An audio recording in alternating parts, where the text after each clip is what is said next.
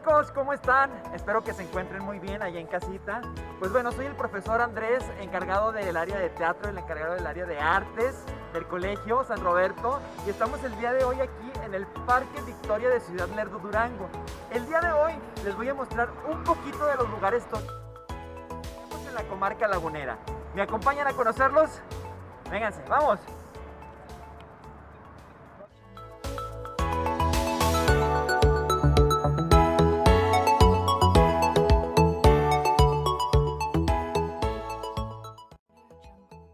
Miren, les muestro un poquito.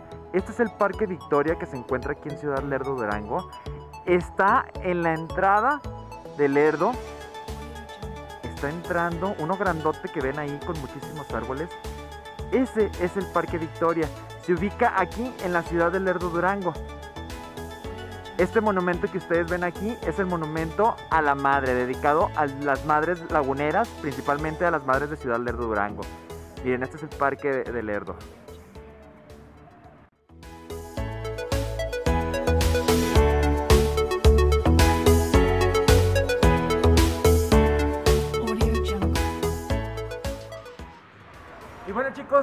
Les voy a mostrar un poquito de lo tradicional aquí en Lerdo.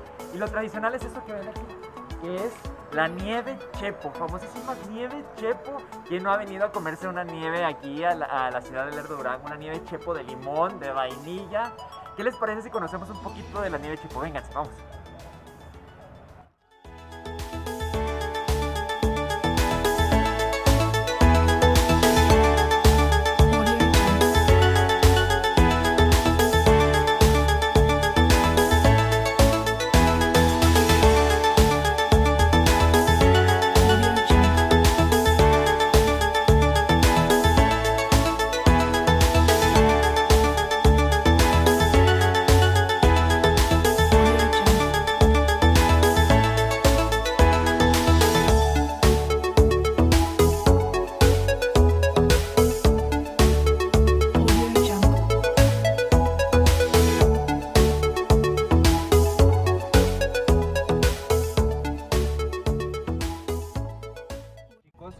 Estamos pasando justamente por la plaza principal del Lerdo.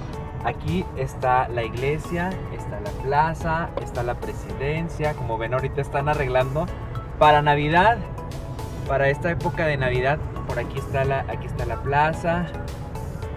Esta es la plaza principal, la presidencia. También aquí hay, nieve chepo, para que cuando vengan a visitarla se den cuenta de que hay nieve aquí mismo.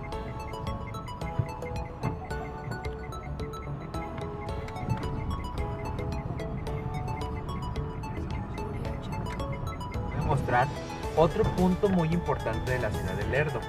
Esta es la plazuela. La plazuela también es un punto muy importante, ya que aquí se llevaron muchos sucesos históricos de la revolución, de la revolución mexicana. Entonces, esta es la plazuela. Lerdo se identifica por tener plazuela, parque y plaza.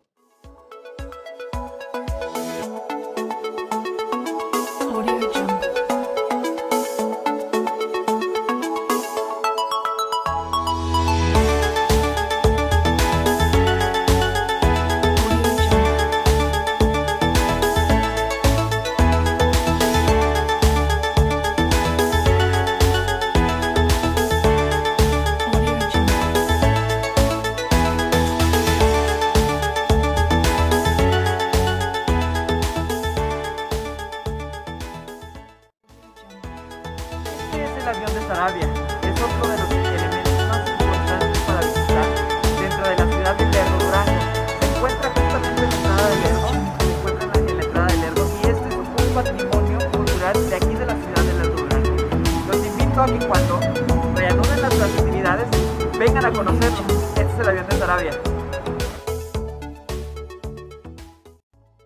Bueno chicos, ahora es el momento de pasar a otra ciudad de la comarca lagunera que es la ciudad vecina de Torreón, Coahuila.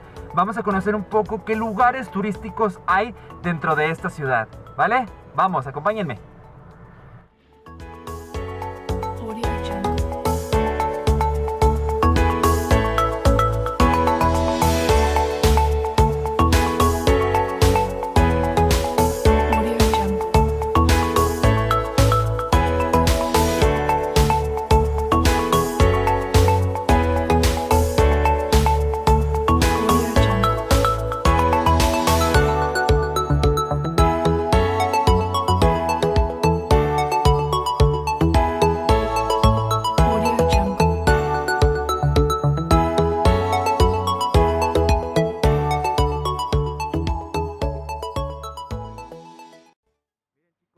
Poco, este es el Torreón, uno de los eh, símbolos más emblemáticos de la ciudad de Torreón, Coahuila. Estamos aquí justamente en la entrada de Torreón, Coahuila. Y aquí, justamente aquí al lado, se encuentra el Parque Fundadores. Se llama Parque Fundadores porque está dedicado justamente a todos aquellos que fueron parte importante de la fundación de la ciudad de Torreón, Coahuila. A la entrada hay astas de bandera en las cuales ponen las banderas de los países que han estado aquí como fundadores de la ciudad de Torreón, Coahuila. Miren nada más, este es el Torreón.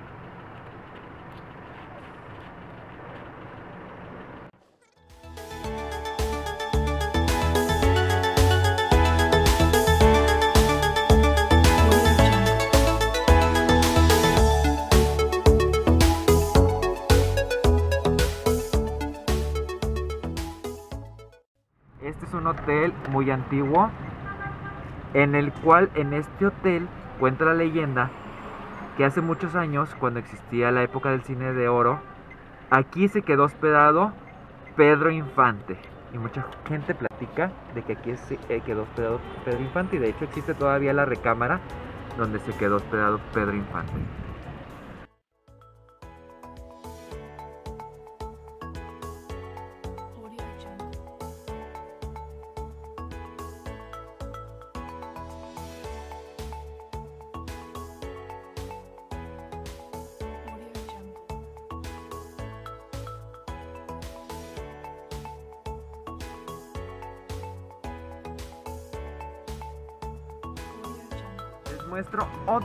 Poquito donde nos encontramos. Me encuentro ahora en lo que es la Alameda Zaragoza de la ciudad de Torreón, Coahuila. Esta Alameda también es muy conocida porque aquí los domingos las familias se reúnen y vienen aquí a los jueguitos, vienen a conocer un poquito de lo que es la Alameda Zaragoza en la ciudad de Torreón, Coahuila. Bueno, dentro de esta Alameda Zaragoza se encuentra esta biblioteca, que es la biblioteca José García de Letona. Es una biblioteca pública, la cual el gobierno de, Torreón, el municipio de Torreón, la puso para que todos aquellos que quisieran eh, interesarse en leer un libro pudieran venir aquí a esta biblioteca. Y esta biblioteca se encuentra aquí, dentro de la Alameda Zaragoza.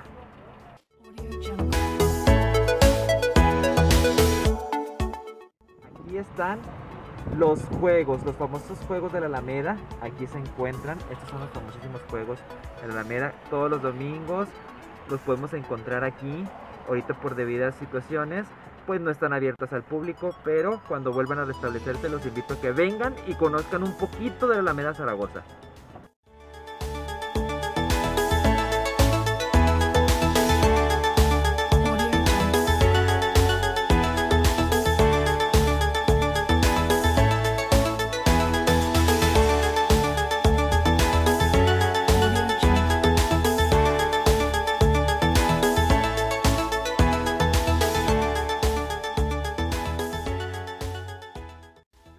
Les voy a mostrar, hemos llegado a otra parte de la ciudad de Torreón, que es la Plaza Mayor.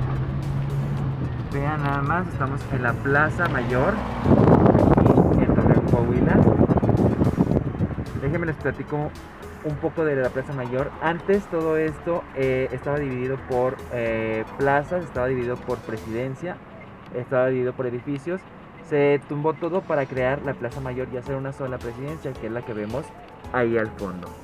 Esa ahora es la actual presidencia de Torreón, Coahuila. Esta es la Plaza Mayor. Aquí es donde se celebran los gritos de independencia, eventos culturales, eventos deportivos. Aquí es la Plaza Mayor.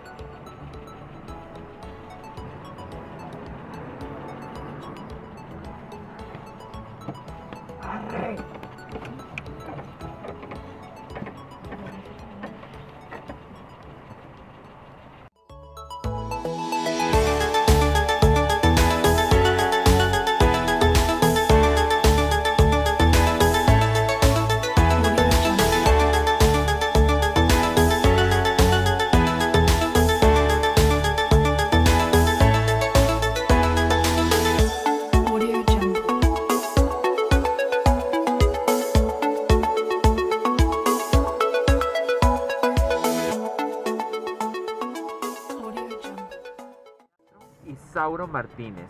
Este teatro es el más antiguo de la ciudad de Torreón, Coahuila. Les cuento un poquito que a, a esta a, fachada, la fachada sigue siendo la misma de cuando se construyó. Sigue siendo la misma. Eh, la gente que, que trabaja dentro del teatro, que trabaja dentro de cultura, no le ha hecho modificaciones a la fachada, ya que como sigue siendo la original, tienen miedo de que le pueda suceder algo o que se pueda dañar la, la fachada. Los vitrales que están ahí, los vitrales están hechos completamente pintados a mano. Los vitrales que están ahí están pintados a manos.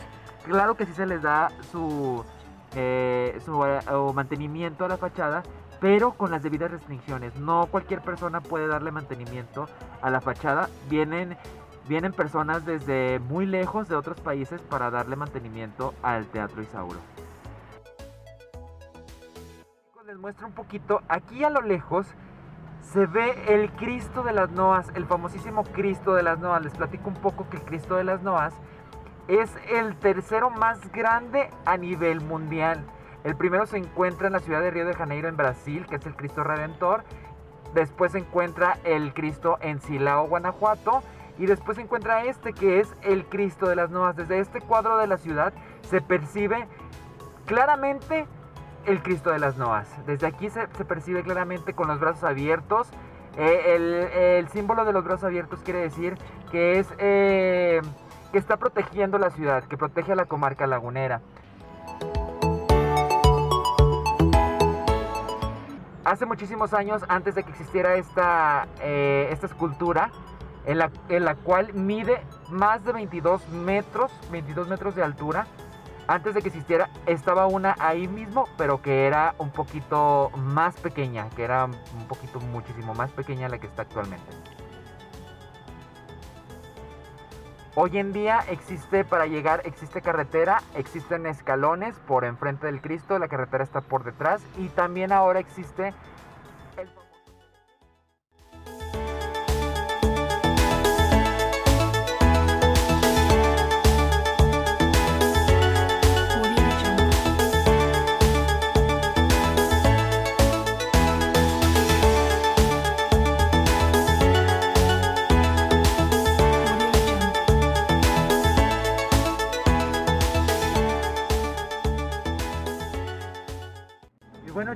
ya nos encontramos en la ciudad, ahora en la ciudad principal donde nos ubicamos nosotros, que es la ciudad de Gómez Palacio Durango. Estamos aquí en la plaza principal de la ciudad de Gómez Palacio. Esta es la plaza principal. Si ustedes lo ubican, estamos aquí en la plaza principal que cuenta con uno de los kioscos más bonitos de, eh, a nivel nacional. Es uno de los kioscos más bonitos a nivel nacional.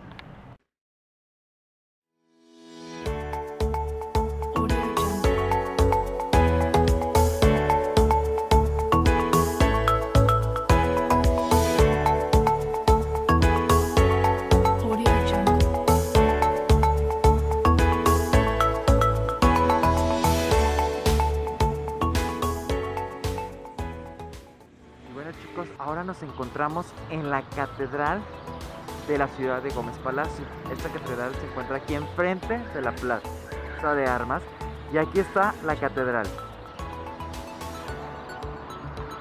Esta catedral cuenta la leyenda que todavía en su fachada se encuentran ciertos, ciertos agujeros que dejaron los cañones de la época de la revolución.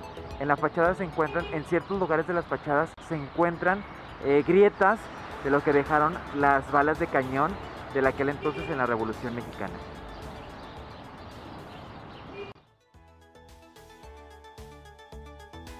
Ahora nos encontramos en otro lugar de la ciudad de que es el Parque Morelos.